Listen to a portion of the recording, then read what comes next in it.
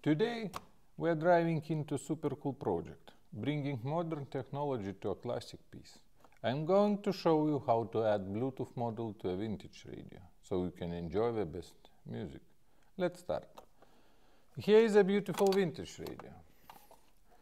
And here is a Bluetooth module, which you just got it from me. You paid only 100 euro and you are watching now this video. The first thing to do is to connect the module to your radio. At the back of your radio, you can find the connection port. After you connected the module, you have to turn on the radio and take your phone. On your phone, go to Settings, Bluetooth, turn on Bluetooth, then tap the name of the device, line. After connections, you will hear the click sound, which indicates that the module has been connected to your phone.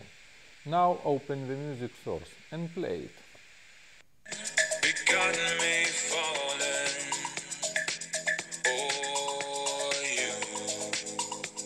Thanks for joining me today. If you don't have a Bluetooth module yet, you can order it from me. Just 100 euro and I will ship it worldwide with a money back guarantee. If you like this video, don't forget to like and subscribe my channel to see the more exciting videos in future. Until next time, bye.